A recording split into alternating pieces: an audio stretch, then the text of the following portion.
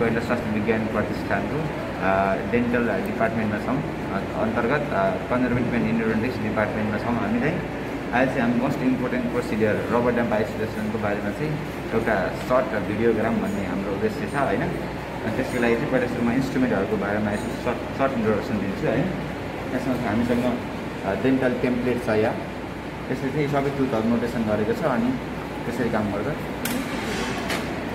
अनि यहाँ चाहिँ रबर ड्याम्प पन्च छ हामीसँग। अनि यहाँ चाहिँ हामीसँग फ्रेम छ मेटालिक फ्रेम यो प्लास्टिक फ्रेममा पनि आउँछ। अनि क्ल्याम्प होल्डिङ फोर्सेप छ हामीसँग। अनि हामीसँग चाहिँ सिट छ। सिट चाहिँ दुईवटा पार्ट हुन्छ एउटा डल हुन्छ एउटा चाहिँ साइनी हुन्छ होइन? डल डल पार्टलाई चाहिँ हामी माथिपट्टि राख्छौँ। अनि साइनी पार्टलाई चाहिँ तल टिस्युतिर राख्छौँ। अनि यो चाहिँ दुईवटा साइजमा आउँछ फाइभ इन्टु फाइभ र सिक्स इन्टु सिक्स इन्चमा आउँछ। हामीसँग छ क्ल्याम्प अथवा रिटिनर भन्छ यसलाई चाहिँ र अब हामी चाहिँ प्रोपर डेमोको लागि रेडी भइसक्यौँ है। सुरुमा चाहिँ यो हामीसँग टेम्प्लेट हुन्छ। सबै तुतहरू नोटेसन गरेको छ यसमा होइन? अनि त्यही अनुसार हामीले चाहिँ कुन तुतमा रबर ड्याम आइसोलेसन गर्दैछौँ त होइन? त्यही अनुसार मार्क गर्ने यता यता। अब हामी चाहिँ फोर सिक्स गर्दैछौँ टाइफोमा। सुरुमा चाहिँ यो डल पार्टलाई चाहिँ माथि राख्ने है। फोर सिक्स अलिकति मार्क छ फोर सिक्स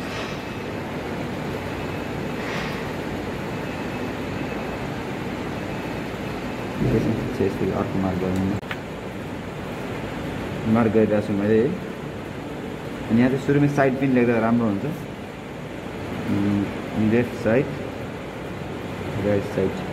लोवरको है लोवर अनि हामी त्यही अनुसार चाहिँ यो रबर ड्याम पन्चमा चाहिँ फिक्स गर्छौँ। यो पाँचवटा होल छ।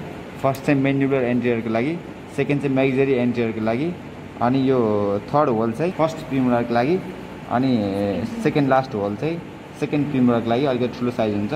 अनि मोस्ट बिगेस्ट साइज चाहिँ यो पोस्टियरको लागि है। म्याग्जिला मेन्युलरको लागि दुइटै एउटै हुन्छ।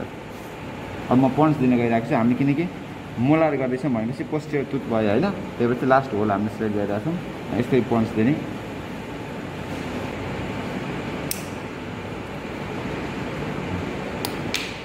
होल भइसक्यो हामीसँग। अवश्य हामी यो चाहिँ तिन दुईवटा टेक्निक हुन्छ। हामी मेनली कन्जर्भेटिभमा प्र्याक्टिस गर्ने चाहिँ। एउटा चाहिँ क्लाम्प एन्ड सिट टुगेदर सुरुमै फिक्स गर्ने अनि चाहिँ टुथमा हाल्ने। अर्को चाहिँ clamp first then rubber dam sheet पछि हाल्ने है? अब हामी चाहिँ कुन प्र्याक्टिस गर्दैछौँ एकदम सजिलो टेक्निक। सुरुमा हामी चाहिँ क्ल्याम्प राख्छौँ है? यो भने क्ल्याम्पको पार्ट भनेको यो चाहिँ बो हुन्छ होइन?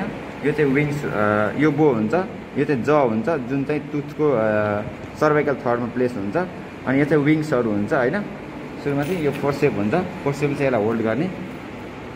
यो यो जुन फोर्सेप लक छ त्यो तल गर्दै गइसकेपछि सानो हुँदै जान्छ। माथि गएपछि ठुलो हुन्छ है यहाँ ग्याप छ यहाँ सानो हुन्छ त्यो ठुलो भयो है। अनि सुरुमा चाहिँ हामी होल्ड गर्ने।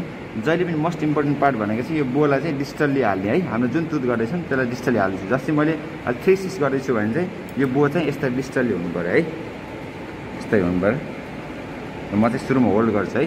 किनकि यसको नाम नै र क्ल्याम्प होल्डिङ फोर्सेप्स हो नि त होइन? सुरुमा।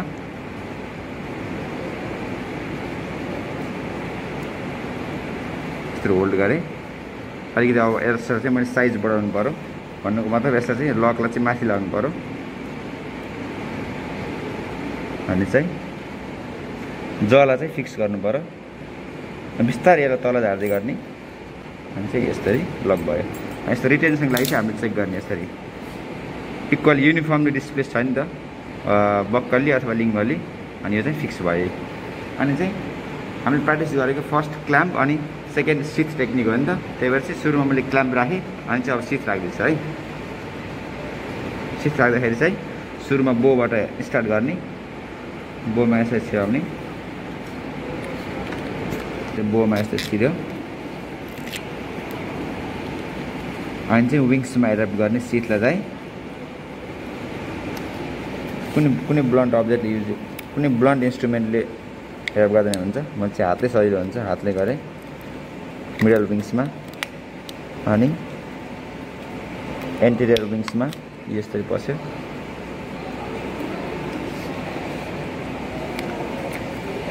पट्टिको विङ्समा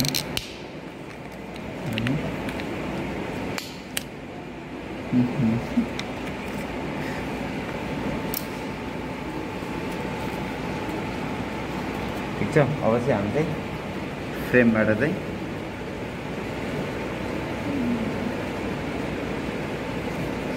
हामी चाहिँ रबर ड्याम यो रबर ड्याम सिट चाहिँ यस्तै माथि लग्छौँ। अनि यता एरेप गयौँ एउटा कर्नरमा अनि चाहिँ अर्को कर्नरमा अनि चाहिँ माथिपट्टि त्यस्तै गरेर नेक्स्ट साइडमा सिटलाई माथि लग्ने यसरी एरेप गर्ने यसरी अनि यसरी अनि चाहिँ लास्ट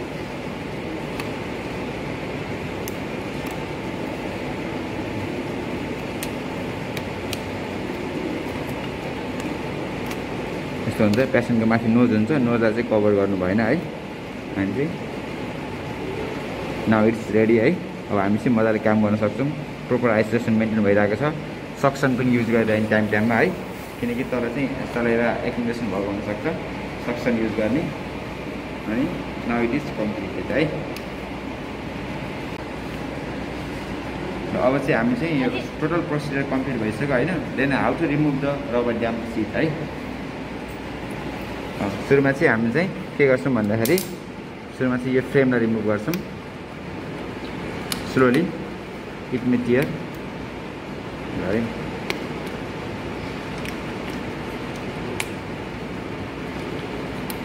फ्रेम निस्किसके। अनि चाहिँ क्ल्याम्प होल्डिङ फोर्सेपले क्ल्याम्पलाई होल्ड गर्छौँ बिस्तारै। सुमा प्रोपर साइजमा एडप्ट गर्छौँ। यो होल छ दुइटा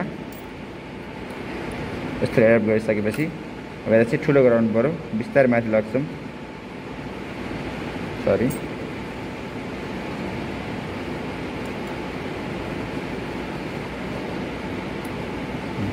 यसरी मजाले निकाल्छौँ।